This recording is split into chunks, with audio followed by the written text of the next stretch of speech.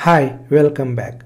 In this lecture, we'll see how to use Hibernate provided timestamp annotations to automatically populate the values for dates. So you can see here in our product JPA entity, we have a date created and last updated fields, right?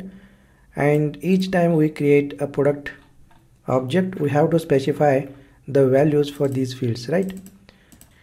Well, tracking the date created and last updated database record is a common requirement, right? So instead of manually specifying the values for these fields, we can use Hibernate provided timestamp uh, timestamp annotation to automatically assign values for these fields. Alright, so let me show you how we can do that. So let's go and let's use the Hibernate provided annotation that is at you know creation timestamp annotation. So make sure that you choose creation timestamp annotation from hibernate package. Okay? That is org.hibernate.annotations so this annotation will basically automatically populate the value for this field okay? So this annotation will basically get the current time from the JVM and then it will assign to this field. All right next let's go and let's use at update you know timestamp annotation from org.hibernate.annotations package to automatically provide you know the timestamp value for this field. Well once we add hibernate provided timestamp annotations to these fields in a jpa entity then hibernate will basically take care of the necessary updates. We don't have to manually add or you know track the values for these fields. Hibernate will automatically take care of updating these values for us. Okay so these are the useful annotations we can simply use to just you know let hibernate to manage the values for these fields. All right great. Now let's quickly run our spring boot application and let's verify these changes will work as expected. So let me run the spring boot application and you can see there are no exceptions or the errors. It means whatever the changes we have done it is working as expected. All right great. I will see you in next lecture. Hi. Welcome back. In this lecture we'll see how to use lombok library to reduce a boilerplate code. Well lombok library is basically a popular java library that helps us to reduce a boilerplate code. Here boilerplate code meaning a getter setter methods constructor toString method equals method okay? For example consider a product jpa entity here. And we have created a lot of getter setter methods right? And look at here the lines of code okay? We have created these lines of code to just generate a getter setter methods. All right and let's say if we have uh, you know too many jpa entities. For example in our e-commerce project we can create a product jpa entity product category order order item okay user roles address right? So if we create these jpa entities then obviously we need to create a getter setter methods to access the private fields right? And sometimes we need to create a constructors. We need to create you know equals and hash code methods toString methods right?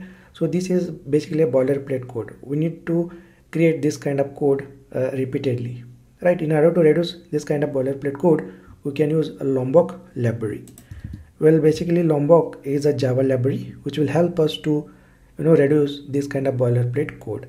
And you can see it provides a lot of annotations. Okay? For example look at here at getter at setter annotations. So we can use these annotations to automatically generate a getters and setters for the private fields. And add toString annotation we can use to generate a toString method for the class. And equals and hash code. And these are the couple of annotation to generate no argument constructor required argument constructor and all argument constructor. And if you if you want to have a builder pattern for your class you can use at builder annotation. Alright so let's go ahead and let's see how to use lombok library in our spring boot application and let's see how to reduce the boilerplate code.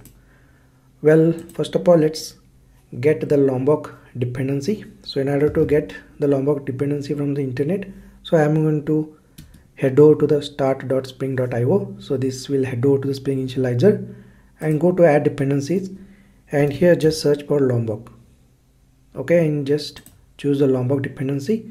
So this is basically java annotation library which helps to reduce a boilerplate code. And go ahead and click on explore and you can simply copy this lombok dependency. Okay? And let's head over to the IntelliJ IDEA and go to pom.xml and just go here and just paste it. So as soon as you paste this dependency you will get an icon here. Okay? So go ahead and click on this icon to load Maven changes. All right now we have added Lombok library to our Spring Boot application and we are good to use Lombok annotations. So go back to product JPA entity and here we are going to simply remove getters and setters. Alright and just go ahead and annotate this class with at getter annotation and at setter annotation. And if you want to use no argument constructor or all argument constructor then you can go ahead and use annotations like no argument constructor meaning a default constructor and all argument constructor meaning a parameterized constructor. Okay great. Now we have used a lombok annotation to reduce the boilerplate code. So going forward whenever we create a jpa entities we will be using lombok annotation to reduce a boilerplate code. For example getter setter methods constructors toString methods okay? Well now let's go and let's run our spring boot application and let's see. These changes will work as expected so i'm going to run the spring boot application.